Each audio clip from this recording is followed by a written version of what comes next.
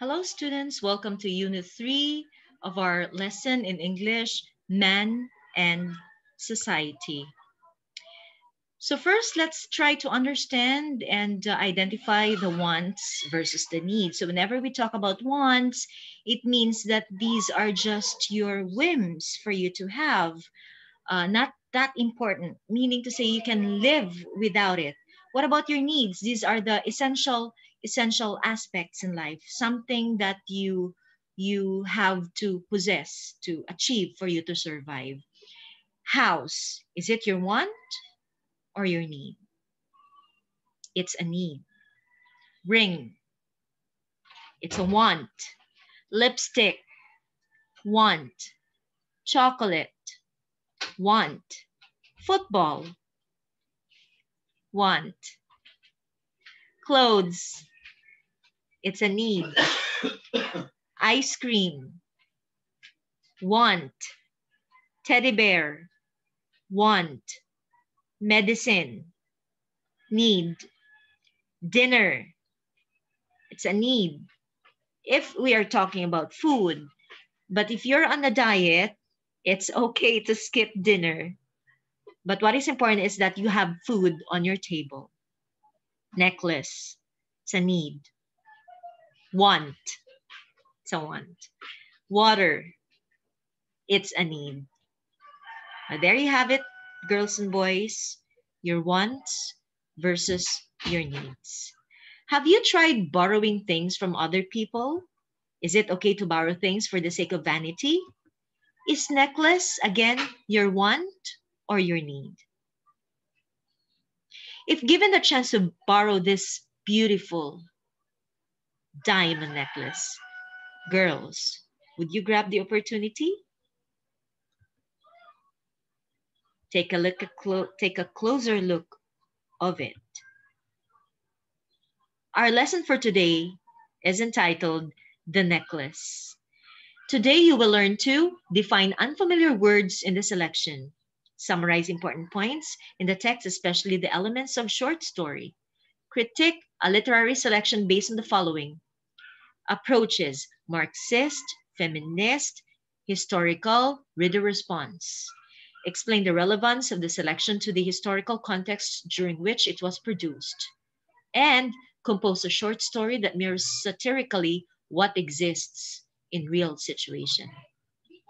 In preparation for the reading, please research for the following Marxism and feminism, how to use Marxist and feminist literary criticism by reading literature, ideology, and gender, and Guy de Maupassant. I have given you the link as well for a short video clip for you to understand Marxism and feminism better. This is Henri Rene Albert Guy de Maupassant, born in August 3, 18 or August 5, 1850. He's a French naturalist, writer of short stories and novels, the greatest French short story writer. Again, he is Guy de Maupassant. For vocabulary building, for you to unlock word difficulty, please uh, open your book to page 273 to 274 and look for these following words. Pretty ver versus charming, dowry, the wretched look of walls, tapestry or tap tapestry, pot-au-feu, frowsy, sphinx-like smile. Also words like antique, boutique, debut, SPA, mirage, charade, chaperone, bureau, monsieur, beret. Okay, so moving on to, to give you all the detail that you need to understand of the selection, open your ECAS 10 book to page 262 to 272. I suggest you answer as well the sidebar questions and write them down in your English notebook. Also, please do not forget to answer the values life connection on page 273. Do this in your English notebook and show it to me or share it to me through my messenger. So what is the necklace all about? I'll give you an overview.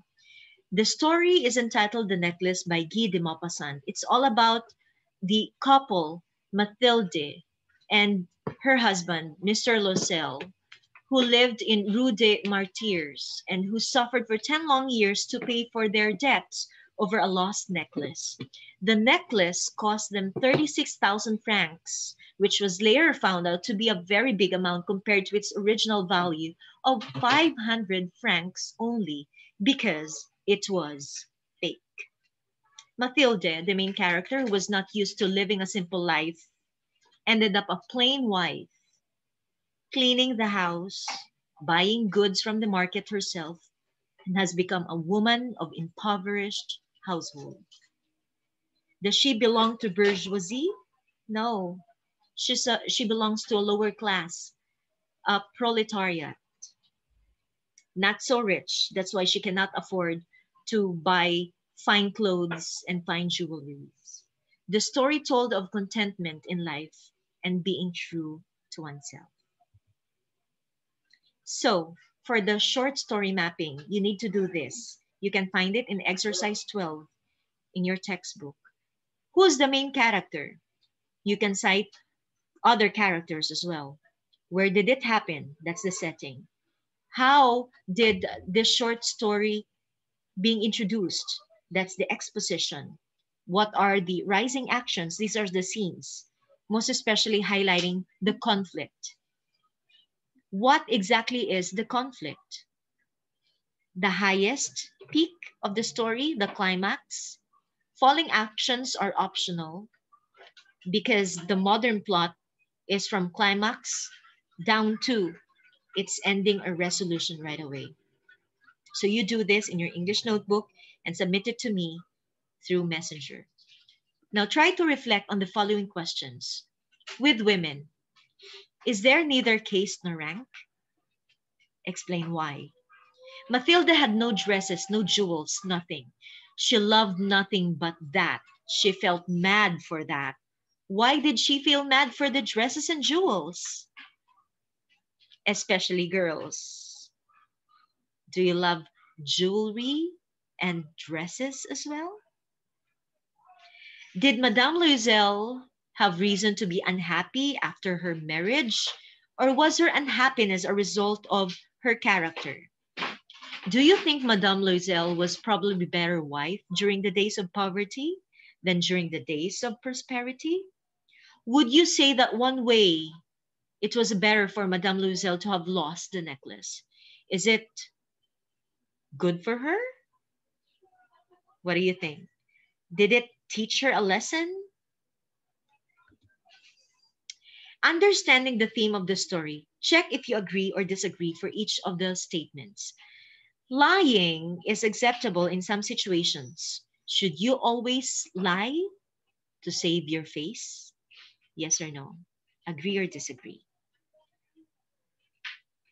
Disagree. Life sometimes hands you cruel situations. The best thing to do when this happens is to keep your suffering to yourself and find a way to get by. Do you keep your sufferings and your worries to yourself? Agree or disagree? But do you know that a shared sorrow is half a sorrow? That's why we have best friends ready to listen to you. What do you think? Number three, material goods like clothing and cars are extremely important to being happy. But money can't buy happiness, right? But it definitely makes easier to be happy. Do you agree with this or disagree with this? Can you think of your own parents? Do they fight because they don't have enough? most especially if if their purpose is uh, the reason is finances think about it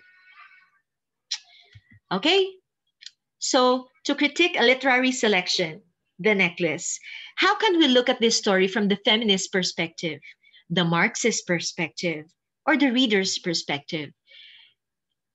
Let's try to understand feminism. Feminism is the advocacy of women's rights on the basis of the equality of gender or sexes. Whereas in Marxism, in simple terms, it's a political and economic theory wherein a society has no classes at all. Whenever we talk about class, it means we have the poor, the middle class, and the elite. Do we have that in the Philippines? Which class do you belong to? explain the relevance of this election to the historical context during which it was produced. During the, the writing of Guy de Maupassant's The Necklace, what was the social issue or, or the or the, the the bias during that time? Is it in connection to that biases? Do you agree with Guy de Maupassant that women have no caste nor class? Today, does this also apply to men or women? In feminism, again, it is the advocacy of women's rights on the basis of equality or of sexes. If we are to critique the necklace, feminist points of view, point of view rather, uh, women were not given the chance to be educated and be independent financially. Women depends that time on the writing of the necklace, they depend on marriage. Can you imagine that? For a woman either to be poor or wealthy, that is based on the capacity of her husband. As for Mathilde, she married a poor man, a working class man. That is why uh, during her marriage, she cannot afford to buy fine jewels or even dresses to fit her beauty because she's very beautiful. As Mathilde learns later on, women are capable of anything if they leave the fairy tale nonsense behind. That's the feminist critique of the necklace. Let's go to the Marxist criticism. Marxism, in simple terms, again, is a political and economic theory where a society has no class. Before, the society was divided into two pluri- proletariat, so to speak, the working class, uh, the poor, okay, and the the bourgeoisie, the capitalists, they're the elite. If they are garnering really good in the economy. Okay, so what does it say? If we are uh, Marxist critique, what's the Marxist Marxist critique of the necklace? It says the story depicts on how the proletariat or the working class wants to be recognized and be part of the social class. Just like how matilda really wanted to belong to the social class. That's why even though she cannot afford it she went to her best friend and borrowed the necklace and the, for 400 francs she would buy a beautiful dress to match that beautiful necklace as well so here for the main character becoming a member of middle class and low class is a terrible thing. She cannot simply accept that she belonged to she belonged to that lower class. So much as she wanted, she wanted to be in a social class. So because for her, being rich is the best thing in life. So that is why for the Marxist, Marxism, advocate of that was Karl Marx. Uh, the, the classes, segregation of classes in the society must be abolished, so to speak. Therefore, equality be achieved. For the feminism, gender inequality should be abolished. There should be an equal right given to women and men in the society. Do you get it now? What about reader's perspective? How do you view the necklace? What do you think? You, as a reader, how do you criticize or do your critique about the selection, the necklace? So for the upper class, it's like pure happiness for Mathilde. But again, she belonged to the lower class. So for Marxism, without or the abolishment of these classes would give everybody equal treatment. So what moral lesson in the story can you apply in real life? Should you wish to be somebody or not? Should you want more than what you can gobble? That means to say, do you wish to have something you cannot afford? But this doesn't mean, mean that you have to be contented for what you have. No room for improvement. Do you like it? What do you think? Or if you wish to be somebody, what will you do now? Push yourself to your limit to reach your goal in life and be better for self contentment, for self happiness, for you to be able to achieve your goals in life. What do you think? So, with all these, what is important is you put, try to bear in mind, put this in your mind that uh, being contented is actually okay. But that should not hinder you from achieving what you wish for yourself. If there's this room for improvement, do it. Grab the opportunity. Be a better version of yourself. Then plan it well. If you wish to be somebody later on, do your best now. If you wish to be the best engineer, doctor later on, then work work it out.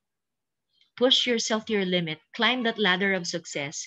Be the best version of yourself later on. That's the moral of the story. But for now, if you cannot achieve what you wish to achieve, then settle for what you can afford. Do you get the idea? Okay, so for evaluation, you will be doing a comic strip. Remember last time I told you to make an outline of a short story in a satirical way. So that, that was in preparation for this major task. This is collaborative short story composition. So in your mini task last time, as what I've mentioned, you have to um, identify any current social issue, think of an advocacy for a change, and make a satirical storyline or outline that subtly attempts to make a difference. This time, based on your group storyline or outline, you are ready to compose a short story the satirical way. It highlights or it should highlight any biases in the society.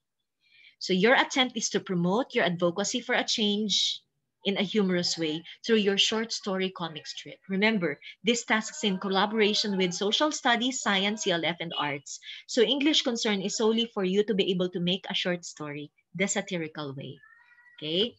Now here, um, it's worth 50 points. Take note. The setting, it should be vivid, descriptive in words, and are used to tell when where the story took place. Characters, the main character are named and clearly described. Most readers could describe the characters accurately. For the problem or conflict, this is times two because it should be the main point of our lesson, the satire. It uses any combinations of humor, exaggeration, irony, and or ridicule effectively to, to expose and criticize problems present in our society. Um, it is very easy for the reader to understand the problem and main characters face, the main characters face, and why it is a problem. Okay, and for the solution or resolution, so the solution to characters' problem is easy to understand and is logical. There are no loose ends. For organization, the story is very well organized. So the beginning, the climax, the ending. So one idea or scene follows another in a logical sequence with clear transitions. For creativity, the story contains many creative sketch details. You can do that for, from the instructions of um, Miss Mamming or your arts teacher, and or descriptions that contribute to the reader's enjoyment. The author has really used his or her imagination. So use your wild imagination to achieve this. For mechanics, the story contains no errors in grammar, usage, or the mechanics as a whole. So total score is 50 points. So if you have any questions, feel free to PM me or, or ask me, okay? So if you have no questions anymore, so this is it. This is what the necklace is all about. So take note of the moral lesson in the story. That's what is more important in understanding this lesson. Okay? Be contented of what you have for now. But if there are room, if there, if there is still room for improvement, grab that opportunity to achieve the best version of yourself. Thank you so much. See you in our next synchronous class. Goodbye.